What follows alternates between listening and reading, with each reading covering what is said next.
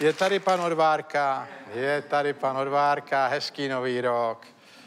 Tak, pane Odvárko, hezký nový rok. A teď se podíváme, prosím vás, tak tady mám první takovou zajímavou instrukci, že pandemie s Omikronem může být trochu mírnější nebo o dost horší, nevíme. To je taková základní informace, která mě uklidnila.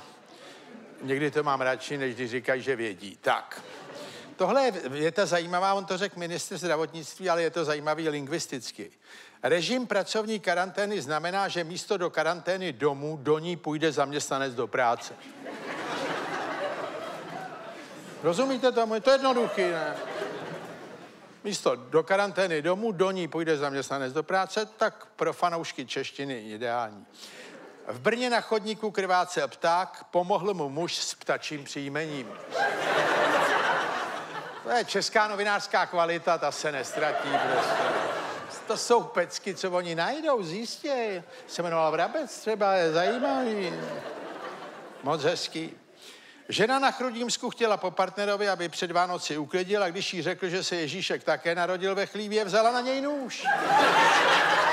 A on zavolal policii, protože se jí bál.